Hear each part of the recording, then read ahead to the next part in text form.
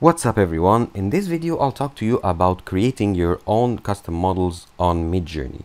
So uh, unfortunately you cannot create your own custom model in Midjourney. You can use only the provided models and what you can do is you can change you can change you can choose a model a certain model and you can change the style so you can play around with different styles and you can uh, play around with the settings. So the different styles gives you like a more artistic or less artistic like more realistic or less realistic uh, generations.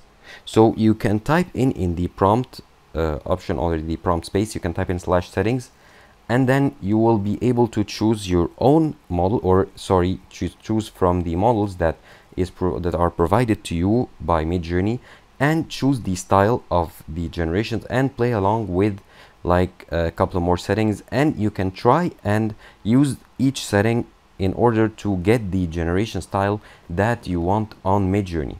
However, as I told you, you cannot create your own model to use on Midjourney. You can only use the default provided models that you get.